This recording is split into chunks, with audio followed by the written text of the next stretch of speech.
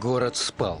Тишину раннего утра нарушал только звук шагов патрульных, которые готовились через несколько часов сдать свою смену. Внезапно внимание привлек туго набитый мешок, край которого выглядывал из-под куста. Развязав тесемки, патрульные пришли в ужас. В мешке лежал труп человека, сложенный самым невероятным образом. Уже через час на стол старшего оперуполномоченного лег секретный документ. Он стал первой страницей в папке с пометкой «Дело упаковщика». Газеты столицы на перебой публикуют новости. Весть о страшной находке, упакованной в мешок, мигом облетает город. Люди всерьез напуганы. Уж слишком необычно действует убийца. Серые мешки, причем все они были одинаковые, с упакованными внутрь э, людьми. Это были трупы, которые были связаны совершенно определенным образом. То есть почерк убийцы прослеживался от, от одного э, случая к другому. Э, эти трупы были обнажены, и к туловищу э, были привязаны руки и ноги. Получался вот такой бесформенный куль. И Москва очень быстро пришла в такое состояние ужаса. Ужас усиливается слухами. У ларьков и в торговых рядах судачат только об одном. У милиции нет никаких версий, и загадочный убийца не пойман. Спустя несколько дней столицу охватывает настоящая паника. У реки найден еще один труп, упакованный в мешок, и, подобно первой жертве, связанный по рукам и ногам. Начались разговоры о таинственном маньяке, который может стать настоящим проклятием этого города. Больше всего обыватели хотели знать, кто этот человек, способный держать в страхе население столицы, почему он убивает и когда остановится. Совершивших подобные деяния принято называть маньяками. Их отличие в нестандартном мышлении. Свою жизнь они начинают благополучными людьми, но в какой-то момент неведомая сила толкает их на кровавые преступления. Эксперты считают, что срабатывает программа убийства, заложенная еще при рождении. Чтобы спасти жизни их потенциальным жертвам, ученые и криминалисты стараются разгадать коды потрошителей.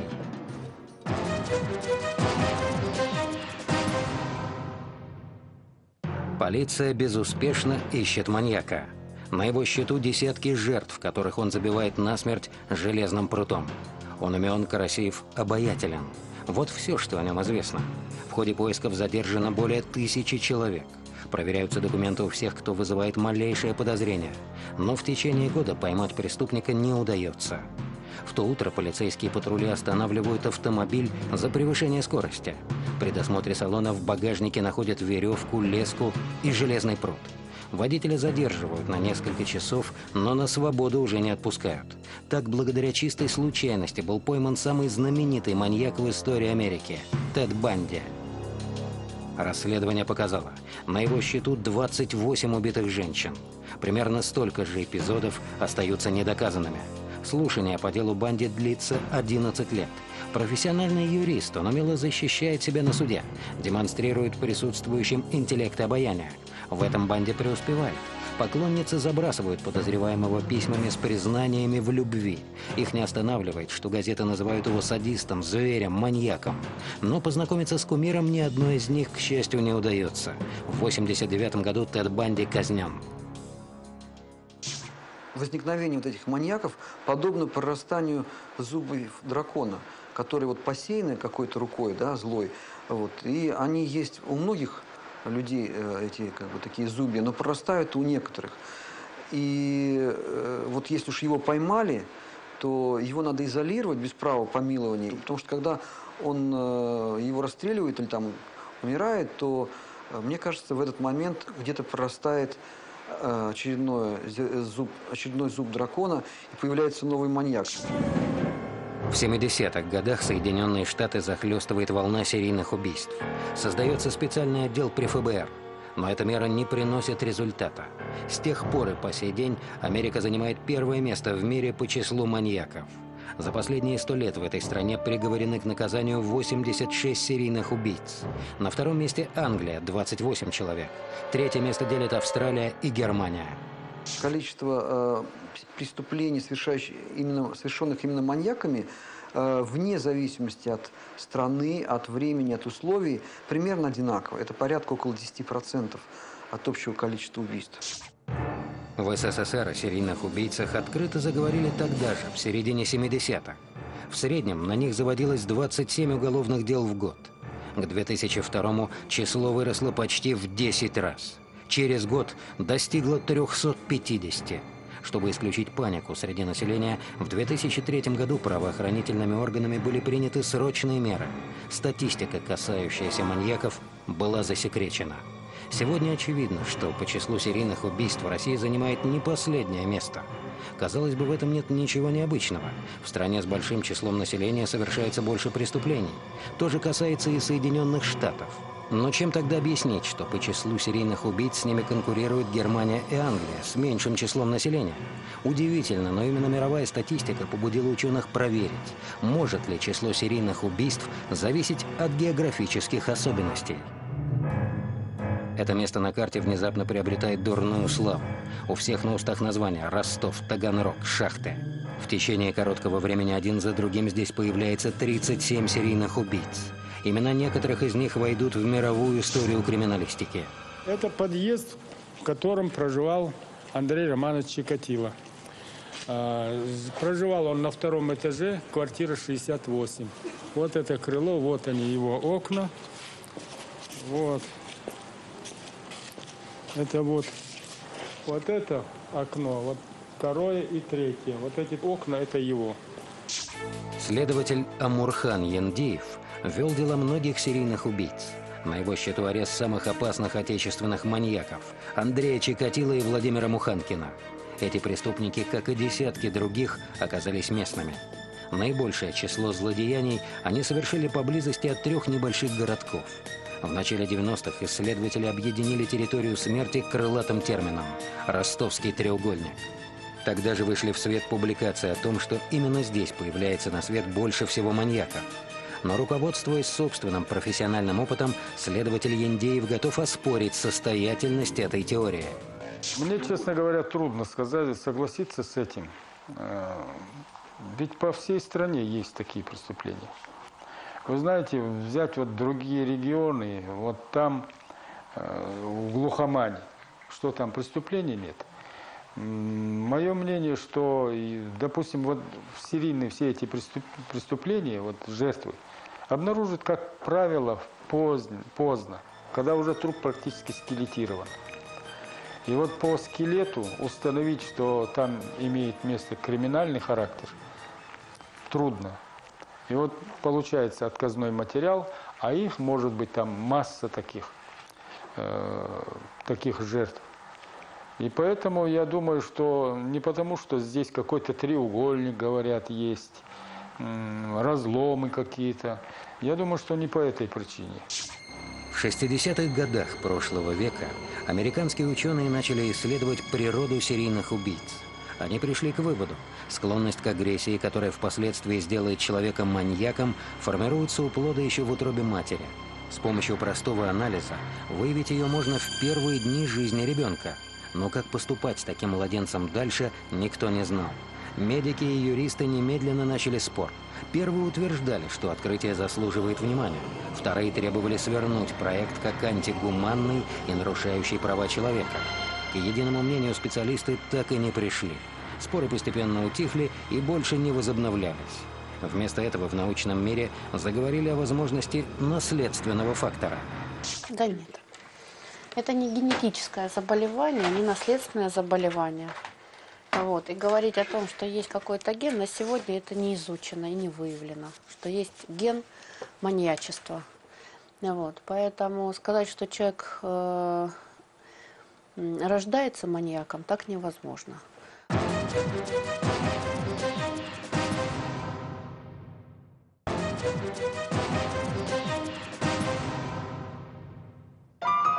Исследователи в области дерматоглифики утверждают обратное. Они считают, что так называемая программа убийства закладывается именно при рождении и фиксируется природой на теле человека. Например, определить ее наличие можно по отпечаткам рук и ног. Вот. Что касается рук, то действительно, вот обследованные мной около 40 человек, группа вот этих серийных убийц, э, так называемого третьего типа, то есть это говоря медицинским языком, это психопаты. То есть люди, обладающие определенными, не грубыми, но достаточно константными, то есть достаточно постоянными особенностями психики. Она обладает и рядом сходных признаков в дерматоглифической картине. Все узоры на человеческих руках делятся на три типа – дуги, петли и завитки. Исследователи утверждают, что их наличие или отсутствие, переплетение и расположение на ладони могут поведать о человеке многое. Дуга – самый простой и самый редкий тип узора. Петля – средний по сложности и самый частый тип узора. Сложность определяется тем, что имеет место такой э, параметр, как дельта. Место, где гребешки расходятся в три стороны. Петля всегда имеет одну дельту. Дуга не имеет ни одной дельты. Завитки, э, как я сказал, напоминают как будто кинули камешек на поверхность воды и круги расходятся. И здесь всегда присутствуют две дельты. Вот три типа узора.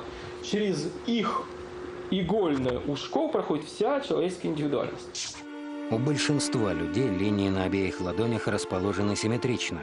На левой и правой руках они практически повторяют друг друга. Это отпечаток ладони маньяка Андрея Чикатило. Узоры линий на руке расположены вопреки сложившемуся мнению. У Чикатило были петли и завитки, дуг не было. Но вообще все три типа узоров встречаются редко. Вот. Они, как правило, эти узоры располагаются на пальцах симметрично. У него они располагались асимметрично, причем асимметрия, асимметрия рознь. У него был самый редкий тип асимметрии, который только могла быть. И все же специалисты в области дерматоглифики не скрывают, что наблюдать подобную картину на практике им приходилось не единожды. Человек с асимметрией линии руки вовсе не обязательно станет маньяком. Подобный рисунок на ладонях говорит о том, что данная личность обладает ранимой, неустойчивой психикой. Такие люди обычно не склонны останавливаться на пути к достижению цели.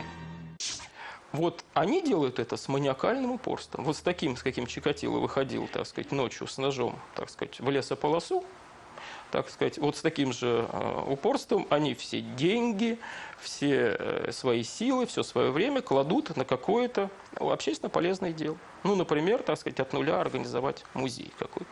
Несколько моих знакомых организаторов вот, э, музейного дела, они обладают точно такой же дерматоглифической картиной, как, как, картины, как Андрей Романович Чикатил.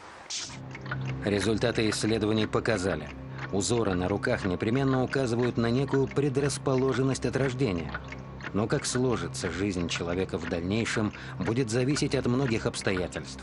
Исследуя природу серийных убийств, ученые-астрологи разделяют это мнение. Маньяками рождаются, но не все становятся.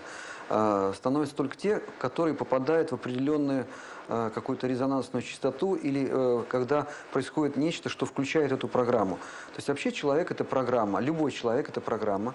А, она закладывается в момент рождения человека. И эта программа состоит из определенного алгоритма действий, событий в его жизни. События на территории печально известного ростовского треугольника дали пищу для размышлений не только криминалистам. Медики и психологи провели исследования, которые подтвердили – Склонность к серийным убийствам действительно формируется в человеке буквально до рождения. Вот только генетика здесь ни при чем. Это влияние вредных факторов на, э, на мозг. То есть э, мы выявляли вот тяжелые беременности, огромное количество вредных факторов, действующих не температура, а именно э, тяжелые факторы, э, вредные факторы, химические вредности, которые пестициды и так далее. То есть вот э, тяжелое протекание беременности, тяжелые травматичные, тяжелые роды. Да, это мы выявляем. Практически у всех матерей вот неблагополучно протекала как беременность, так и роды. Ярким примером специалисты считают появление на свет будущего маньяка Муханкина. Он оказался нежеланным еще до рождения. Отец будущего преступника ушел из семьи, бросив беременную жену. На консультации к медикам женщина не ходила. Вместо этого пыталась избавиться от плода с помощью разных препаратов, которые принимала по рекомендации соседки. В сельской местности мать-одиночка – это, как считается, э, отрицательное э, состояние. И она, естественно, пыталась всячески избавиться от ребенка, хотела как-то наладить свою жизнь уже в другом по-другому. Но у нее это не получилось, плод развивался, и вся эта негативная вот эта вот ситуация, она передавалась, естественно, плоду. Изучая биографию Муханкина, психологи пришли к выводу. Негативные эмоции матери и воздействие опасных препаратов привели к патологии плода. Появившийся на свет ребенок только внешне выглядел здоровым. На самом деле у него, несомненно, имелись нарушения психики. Но мать не спешила показывать сына врачам. До его будущего и не было никакого дела. Позже обиду на свою разбитую судьбу женщина выместит на сыне и тем самым только усугубит ситуацию. Самое яркое воспоминание детства для Владимира Муханкина – это бесконечная череда унижений, которым подвергала его мать. Муханкин в своих воспоминаниях, он там и говорит о том, что э, мать постоянно надо мной издевалась, ставила в угол, на угле ставила. И постоянно я понимал, что э, я являюсь для нее обузой в ее не сложившейся жизни. После этого она говорит, то за одного вышла замуж, потом со, со вторым сошлась, потом с третьим.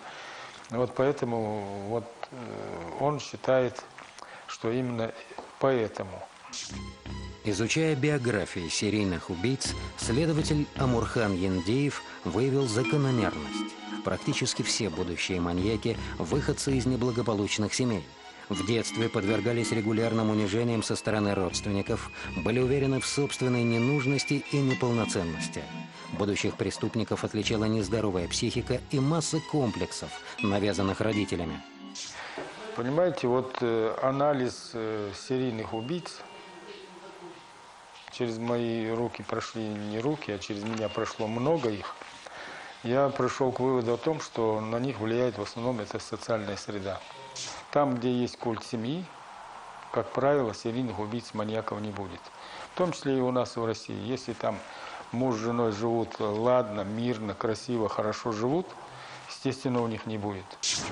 Годы спустя личность маньяка Владимира Муханкина станет предметом изучения для психологов и криминалистов. Многие его личные качества будут казаться несовместимыми. Например, шокирует склонность преступника к поэзии – во время следствия Муханкин напишет 18 тетрадей стихов, многие о собственной судьбе. Но будут среди них и строки, посвященные любви к женщине. Только вы всегда стремитесь к миру. Только вы так терпеливо ждете. Только вы так любите безмерно. Только вы рождение даете. Но во время следственного эксперимента станет ясно. Муханкин не сентиментален. Он откровенно расскажет, как убивал, в том числе детей и женщин в течение которого часа вы все это сделали? Сколько времени вам понадобилось на это убийство или на такое? Может, час, вот, может, чуть больше, может, чуть меньше. Воры, мошенники, налетчики буквально наводнили город. Но гораздо больше москвичей волнует таинственный убийца за особый преступный почерк, прозванный упаковщиком. Несмотря на усилия милиции, маньяк до сих пор не пойман нахождение вот этих э, следов этих страшных убийств не прекращались. И хотя э, была поднята вся милиция на ноги, но преступника так не удавалось найти.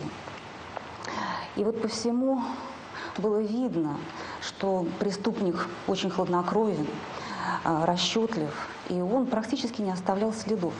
То есть долгое время невозможно было э, выйти на хотя бы каких-то потенциальных подозреваемых.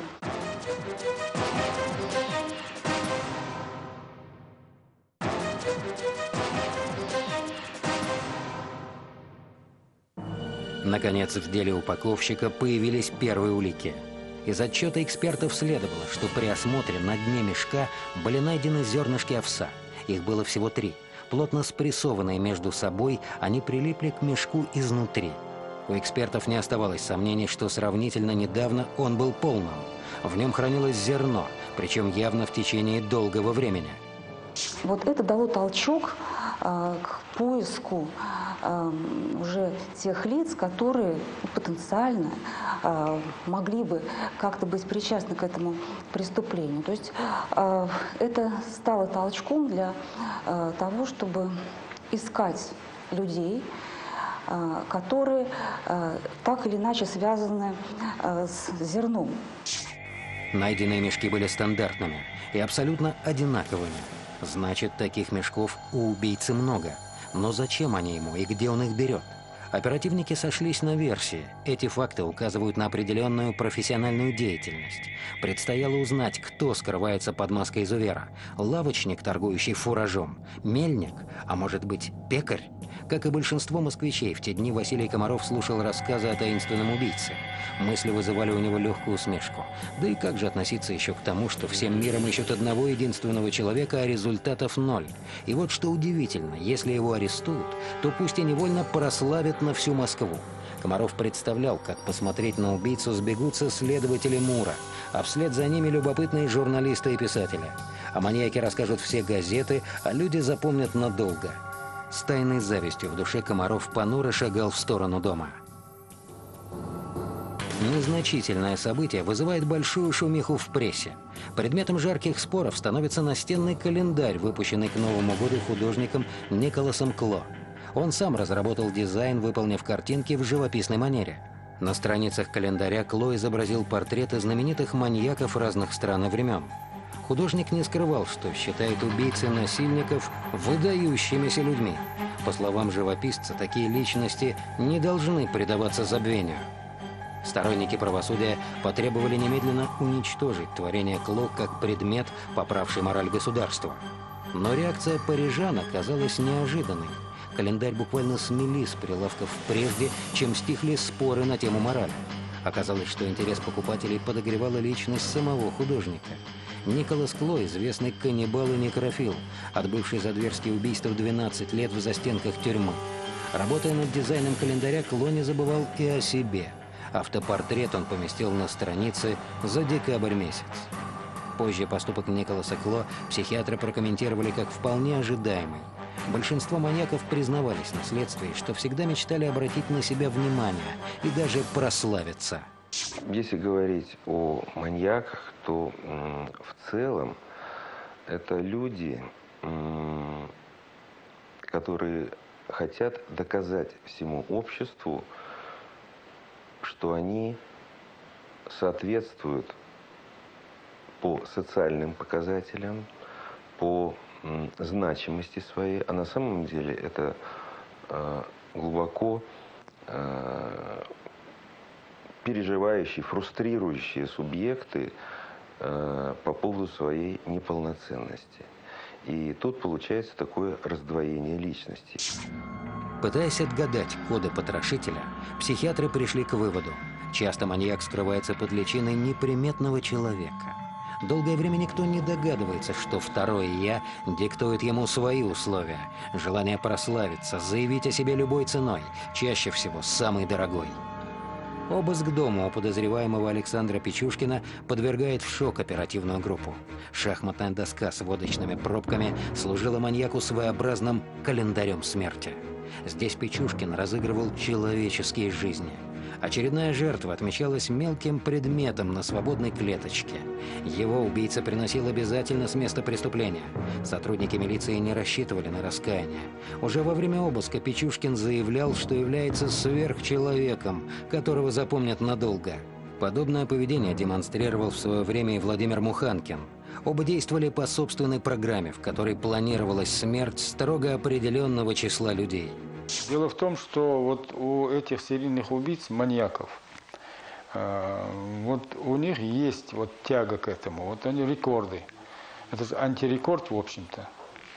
Вот, они тянутся к этому. Муханкин сидел, отбывая наказание, он э, полагал, что будет э, совершать убийство столько. У него был список 36 человек, это официально уже запланированных, которые он собирался убить. А, и потом увеличить дальше это количество, чтобы оно превысило то количество, которым, которое совершил Чикатило. Битцевский маньяк то же самое. Должен быть пример для этого, подражания, отрицательного подражания. Таким примером у них явился Чикатило. Андрей Чикатило погубил в свое время 53 человека. И еще три эпизода не были доказаны следствием. Все эти факты сделали имя маньяка буквально нарицательным – О нем писали газеты и книги, информация легла в основу сотен научных диссертаций. Позже Александр Печушкин признается, что втайне завидовал этому и считал, что способен на большее.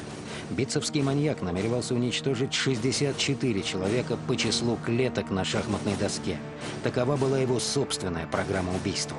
Современные исследователи утверждают, подобная программа есть у каждого маньяка, и ее особенности обязательно находят отражение не только в судьбе, но и во внешнем облике человека. Вполне возможно, что именно они и являются ключом к так называемым кодам потрошителя. Предметом обсуждения общественности становится научный труд, опубликованный итальянским психиатром и криминалистом Чезаре Ламброзо. Кстати, это человек, который сам отсидел в тюрьме. Вот это очень важно. И всю оставшуюся жизнь, по-видимому, тюрьма его так напугала, всю оставшуюся жизнь он разрабатывал критерии выявления прирожденных преступников. Сейчас они выглядят чрезвычайно наивно. Низкий скошенный лоб, глубоко посаженные глаза, оттопыренные уши, редкие зубы и так далее. Часть из них, как врач я могу сказать, часть из них это стигмы, которые действительно ослабляют а, адаптацию человека. Исследуя психологические портреты преступников, Ламброза вывел их классификацию, условно разделив на четыре группы. Преступники по страсти, случайные, душевно больные и прирожденные. Последних, по мнению ученого, можно вычислить задолго до того, как сработает заложенная в них программа убийства. Для этого Ламброза предлагал воспользоваться их антропометрическими данными. Исследователь утверждал, что замерив и тщательно высчитав соотношение пропорций лица, можно определить, является ли данный индивид потенциальным убийцей. Но даже если результат исследования даст утвердительный ответ, это еще не означает, что такой человек обязательно станет убивать. Стоит лишь учитывать, что он может пойти на это при определенных обстоятельствах. Эта часть теории Ламброза потерпела крах. Но назвав ее несостоятельной, скептики явно поторопились. Доктор психологических наук Борис Хигер не во всем согласен с Ламброзо, но уверен, что физиогномика заслуживает пристального внимания исследователей.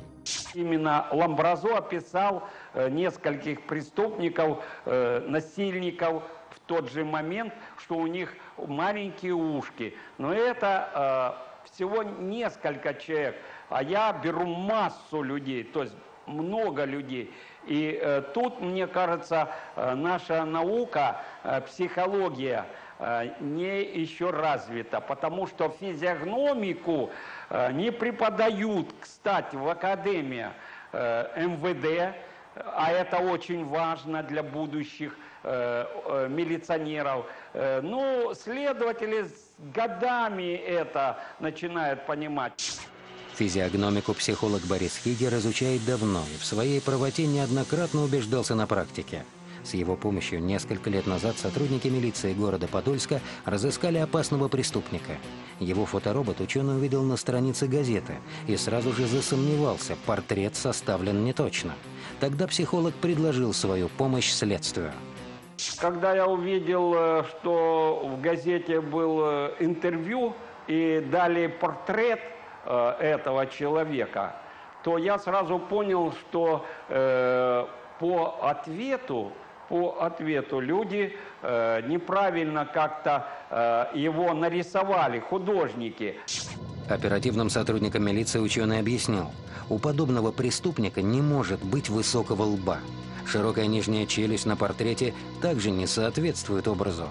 У преступников такого, э, как бы, Э, направления убийств, жестокости не бывает по внешним данным. Этим занимался еще э, ученые, э, которые э, разбирались э, у, именно в преступниках. И э, по моему рисунку сразу э, совершенно быстро его нашли.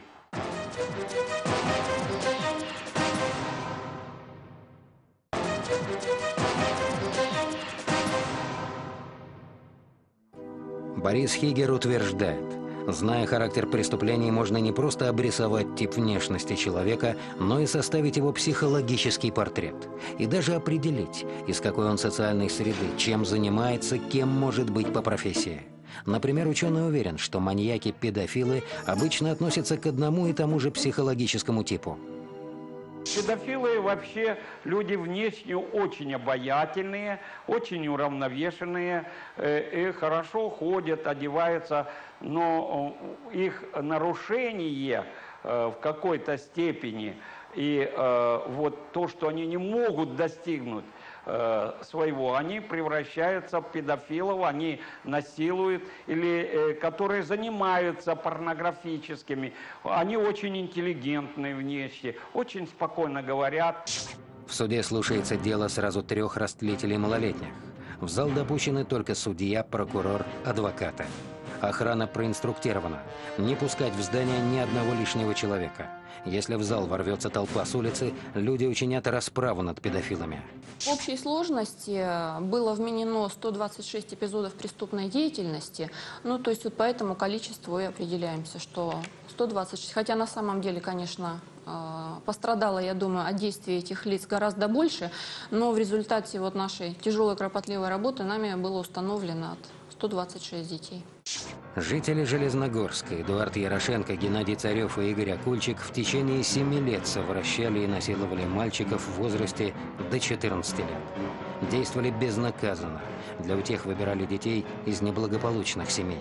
Их никто не разыскивал и не стремился защищать. Маньяки снимали издевательства на видео. Порно-ролики распространяли в интернете, а фотографии выгодно сбывали себе подобным. Так продолжалось несколько лет. Со временем преступники потеряли осторожность. Их задержали, когда в отделение обратились родители пятерых пропавших мальчиков.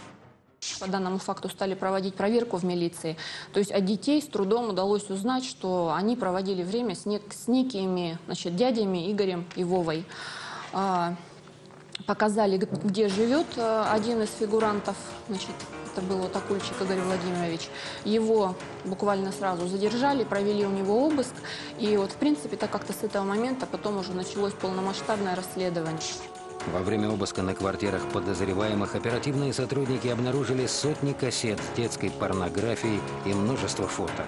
На всех сюжеты схожего содержания, плачущие, изнасилованные дети. Лишь в ходе следствия всплыли шокирующие обстоятельства. Оказывается, родственница одного из педофилов не раз обращалась с заявлением в правоохранительные органы. Женщина утверждала, что ее племянник Эдуард Ярошенко – маньяк, который совращает детей. Сам факт, что с такими наклонностями он работает учителем в школе, казался ей чудовищным. Но, несмотря на ее заявление, меры приняты не были. Более того, на Капитолину Нарушевич коллеги племянника подали в суд за клевету. Но решительную женщину это не остановило. Вокруг школы, где работал маньяк, она расклеила предупреждение. Содержание было такое. Внимание, родители. Не отпускайте ни в какие поездки своих сыновей. С учителем истории школы номер 100 Ерошенко Эдуард Геннадьевич. Он гомосексуалист. И написала там, пришлось мне сбоку написать, педофил по призванию. У преступников были семьи и собственные дети. Свои наклонности маньяки умело скрывали под маской благополучия. слыл хорошим мужем и отцом. На суде тетя учителя педофила не скрывала, что преступление племянника – следствие давней психологической травмы. В свое время ее нанесла Эдику родная мать. Она сама лесбиянка была. И она его с годовалого возраста сделала гомосексуалистом, а потом педофилом. Она до последнего дня с ним спала всю жизнь, со своим сыном. В деле красноярских маньяков фигурировало более двух сотен эпизодов. Но доказать удалось лишь половину из них. Следствием было установлено, многие дети, в отношении которых маньяки совершили развратные действия, пропали без вести. Суд без промедлений вынес приговор учителям-педофилам. Организатор Акульчик получил максимальный срок – 15 лет. Фотограф Царев – 9 лет. Учитель Ярошенко был приговорен к 10 годам лишения свободы. Но следователь опасается, что дело красноярских маньяков не ограничится 18 томами уголовных дел. У истории будет продолжение. Я потом общалась э, с детьми, которые говорили, что я там с ним познакомился в 12 лет, например, с этим Акульчиком, сейчас ему 16. То есть он откровенно стал уже лицом этой ориентации нетрадиционной по внешнему виду и по всему. И вот на мои вопросы о том, что нет ли у него сожаления, что он же тебе жизнь поломал, он как-то так спокойно сказал, ну, Да нет, наверное. Как сложилось, так и сложилось. После суда прошел уже год. Соседи осужденных маньяков рассказывают, что подростки самостоятельно разыскивают своих мучителей. Но движут ими вовсе не мести обида. Образ поведения, навязанный им маньяками, теперь стал для них образом жизни. Мне кажется, ни один из них нормальным мужчиной уже не станет. Ну вот вот таким вот образом. То есть поломанные, совершенно поломанные детские судьбы. И опять же, как бы можно сказать, что лет через 10-15 у кого уже кто-то из них у нас выйдет на тропу совершения таких же преступлений. Вот, вот что самое страшное. Таинственного убийцу, прозванного упаковщиком, ищет вся милиция столицы. Получив строгие инструкции, секретные агенты дежурили на рынках, присматриваясь к торговцам зерном. Но таких лавок в Москве были сотни. И все-таки общение с лавочниками оказалось не напрасным. Они подсказали, что подобный товар впрок покупают извозчики. Версия позволяла значительно сузить круг подозреваемых. Но вскоре произошло очередное убийство. Обнаружили труп, а, у которого руки были связаны детской пеленкой. Причем пеленкой со следами младенческими. И э, появилась версия, что у этого человека маленький ребенок. Так под подозрение муровцев попали все легковые извозчики, семейные, у которых есть дети. Дежурные оперативники отрапортовали о новой находке. Сложенную в четверо записку сыщикам доставил один из агентов, в тот день дежуривший на рынке. Он рассказал, что нашел ее на земле. Клочок бумаги явно выпал у кого-то из кармана. По одной из версий, а, на конном рынке нашли записку, которую обронил а, один из тех э, людей, которые потом исчезли. И по этому адресу милиционеры организовали рейд. Якобы рейд по борьбе с самогоноварением, для того, чтобы не вызывать подозрений. Теперь у оперативников появилась возможность отправиться прямо в дом главному подозреваемому. Адрес был указан в записке. Таинственный продавец проживал в районе Шаболовки. Василий собирался уходить. Предстояло еще кое-что закончить. Он подошел к двери, и в этот момент с улицы постучали. «Откройте, милиция! Рейд по борьбе с самогоноварением!» Медлить было нельзя. Василий бросился в сторону окна и через минуту уже мчался по улице. Он слышал, что его преследовали и знал почему. Труп в мешке из-под зерна, который лежал в кладовке, он так и не успел спрятать. А, ну, уйти он далеко не успел, потому что уже были отслежены все его связи, и на следующий день его нашли. А, он не стал отрицать а, преступления, которые он совершал. На протяжении многих столетий природа серийных убийств изучалась в разных направлениях. Например, астрологи считают, что судьба каждого человека зависит от взаимодействия небесных тел – и эта система ведет по жизни не только убийцу, но и его потенциальную жертву. В каждом из них заложена своя программа.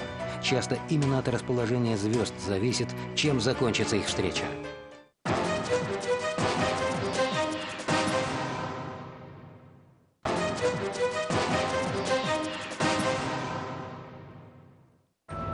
В тот день Татьяна Устюгова отправилась из Ростова домой. Предстояло ехать электричкой несколько часов. Девушка купила билет и удобно устроилась возле окна. У меня были какие-то проблемы и в, по учебе, в личной жизни. Я была расстроена тогда, еще и воду в общаге отключили, не помыться, не искупаться. И ко мне подсел мужчина достаточно приятной внешности, лет 40-45, как я тогда считала. Э, и, и спросил меня, говорит, что ты такая грустная детка? Завязалась беседа. Узнав, что у девушки неприятности, случайный попутчик начал ее успокаивать. Он был убедителен и говорил, что все плохое когда-нибудь закончится. Нужно взять себя в руки и переждать черную полосу. Просто мне понравился его голос, такой мягкий, такой вкрадчивый, знаете, как обволакивающий. И когда он узнал, что я еду домой, он говорит, а зачем к маме домой? Давай сейчас, говорит, выйдем вот здесь, вот э, через посадку пройдем, там у моего приятеля дача, там пруд, у него сад огромный, там отдохнем, искупаемся. Э, я его слушаю, уже, в принципе, готова на эту дачу. И все. А потом соображаю, у меня же купальника нет. Он говорит, ну, детка, это же деревня. Зачем купальник? Мы и так искупаемся. Ни о чем плохом Татьяна не думала и уже готова была согласиться на его предложение. Развлекая девушку разговорами, попутчик рассказал ей анекдот, неожиданно пошлый и неприятный, что-то про пляж. В этот момент Татьяна посмотрела в окно и увидела загорающих людей. Такое совпадение она посчитала не случайным. Внезапно к своему новому знакомому она испытала острый приступ отвращения. На все уговоры Татьяна ответила резким отказом. Настаивать на совместной прогулке попутчик не стал. Он как-то так подобрался весь, оставил вещи. Говорит, ну, я, говорит, пойду другу поищу, последи за вещами. И пока я не доехала до своей остановки, он так за вещами не пришел. Я не знаю, может, он, электричка шла дальше, может, он там пришел, взял эти вещи. Ну, как-то.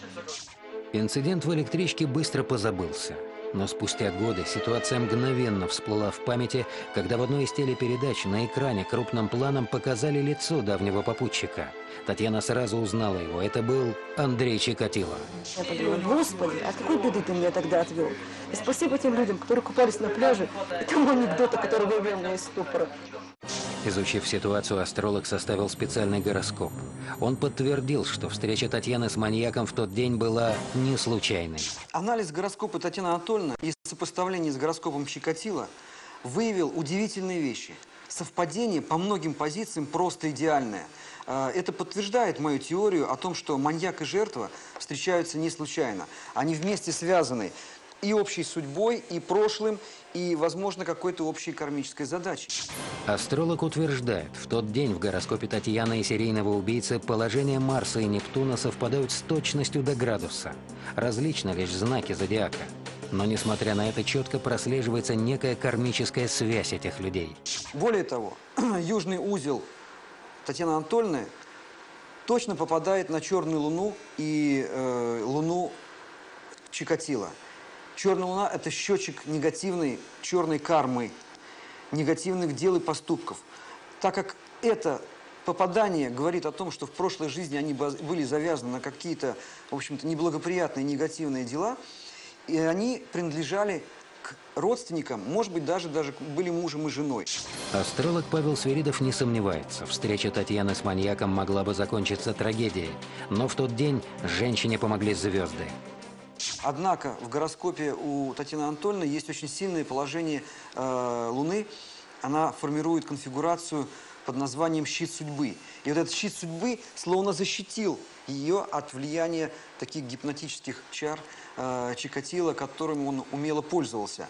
И она нашла в себе силы встать и уйти. Но далеко не всякая история имеет счастливый финал. Люди редко прислушиваются к своему внутреннему голосу и не доверяют интуиции. Так маньяку удается покорить жертву своим обаянием, и заслуженное возмездие настигает его слишком поздно. Такого столпотворения здание Политехнического музея не помнило за всю историю своего существования. В тот день народ со всех сторон окружил его плотной толпой. Самые любопытные собрались с самого утра. Все хотели своими глазами увидеть изувера, который несколько лет держал в страхе всю Москву. Расследование прошло очень быстро. Он показал те места, э, где он прятал трупы эм, убитых людей. И надо сказать, что, конечно, если бы э, сотрудники милиции не обеспечили его охрану, то население, которое вот присутствовало при этом, э, расправилось с ним само. Потому что настолько это все было страшно. Расследование показало, начиная с февраля 1921 года, неприметный легковой извозчик Василий Петров совершил 29 убийств. На суде он держался уверенно и охотно рассказывал о своих злодеяниях. Действовал он по привычной схеме. Отводил свою единственную лошадь на рынок, предлагал кому-нибудь по сходной цене. Дальше было совсем просто. Преступник приглашал покупателя к себе и предлагал обмыть приобретение. Поступая так, Петров знал заранее – и деньги, и лошадь останутся у него. Он не- незаметно подходил сзади и тяжелым молотком а, наносил удар по голове. И накидывал потом петлю на шею, а, он постепенно, со временем настолько отработал всю эту процедуру, э, что уже у него было заготовлено э, корыто, которое он ставил под голову жертве, куда стекала кровь. И вот вся вот эта вот процедура, страшное убийство и э, связывание потом жертвы занимало у него не более чем 20 минут. Э, труп он помещал в мешок, мешок оставлял до поры до времени в шкафу или в чулане, и потом вот выносил, прятал его э, в подвалах заброшенных домов, на пустырях, на, да, на набережной Москва-реки или сбрасывал в реку. Подробности рассказа обвиняемого вызвали взрыв возмущения в зале суда. Приглашенные на процесс психиатры оказались единодушны. Свои преступления Петров совершал не только ради наживы. Причины жестокости кроются в глубинах психики этого человека. За свою жизнь подсудимый сменил много профессий. В надежде стать героем служил в Красной армии и даже получил звание комвзвода. Но волею судьбы вместе с солдатами попал в плен к Деникину. Вполне понятно, что командира взвода расстреляли бы первым, поэтому он скрыл этот факт своей биографии, свое назначение. Представился простым солдатом, назвался другой фамилией э, и вообще сказал, что э, служит в Красной армии по принуждению. О нем на какое-то время, видимо, забыли, потом ему удалось сбежать, но возвращаться потом к своим в армию он уже побоялся, потому что оставались солдаты, которые э, были свидетелями его предательства, и его могли бы просто расстрелять свои. Опасаясь разоблачения, он раздобыл чужие документы, по которым и проживал в последние годы. Был Василий Комаров, стал Петров – Решением суда кровавый московский маньяк был приговорен к казни. Позже Петров Комаров войдет в историю нашей страны как первый серийный маньяк-убийца. Криминалисты признаются, на самом деле подобные преступления в России совершались и до него. Об этом свидетельствуют архивные документы многолетней давности. Статистика неумолима. Серийное убийство фиксируется столько, сколько существует само человечество. Современные психиатры утверждают, очередной волны маньяков можно ожидать от поколения детей перестройки.